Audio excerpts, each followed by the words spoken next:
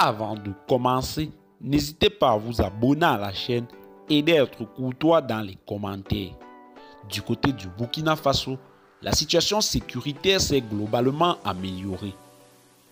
En effet, la dynamique offensive enclenchée par les forces combattantes depuis plusieurs semaines s'est renforcée au cours du mois écoulé, a fait savoir l'armée dans le point mensuel de ses activités de lutte contre le terrorisme et de reconquête du territoire national. Je cite, Cela se traduit par une baisse significative du nombre d'attaques et du nombre de victimes civiles et militaires dans les différents groupements de forces. Fin de citation, a noté l'armée. La situation sécuritaire s'est globalement améliorée malgré des pressions sur les populations dans certaines localités du centre-nord, du nord et de la boucle de Mouhou, indique l'armée qui assure que les opérations militaires se poursuivent dans ces zones afin de ramener la quiétude au sein des populations.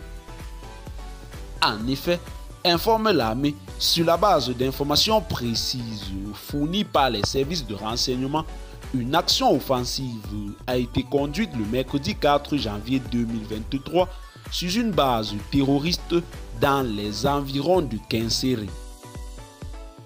Cette action qui s'est déroulée à la suite de plusieurs heures de surveillance et de traque a mobilisé des unités terrestres appuyées par des unités aériennes avec à la clé la destruction de la dite base terroriste par les forces de défense et de sécurité.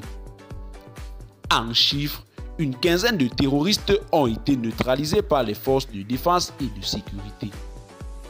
Côté matériel, plusieurs fusils d'assaut et fusils mitrailleurs ainsi que des munitions ont été récupérés et détruits grâce à cette offensive qui a permis la saisie d'une importante quantité d'explosifs sur la base détruite. Selon les premiers éléments recueillis, les terroristes qui ont ôté la vie à un enseignant ainsi qu'à un religieux début janvier sur l'axe Tougan-Dougou ont probablement été neutralisés au cours de l'assaut, révèle l'armée qui précise qu'aucune perte n'a été enregistrée côté ami. Aussi, l'armée a indiqué que d'autres actions offensives ont été conduites pour sécuriser les localités de Séguénéga et Kongoussi et leurs environs. Eh bien, chers téléspectateurs, c'est tout pour cette note d'information. Laissez-nous en commentaire vos impressions et à très bientôt pour une nouvelle note d'information.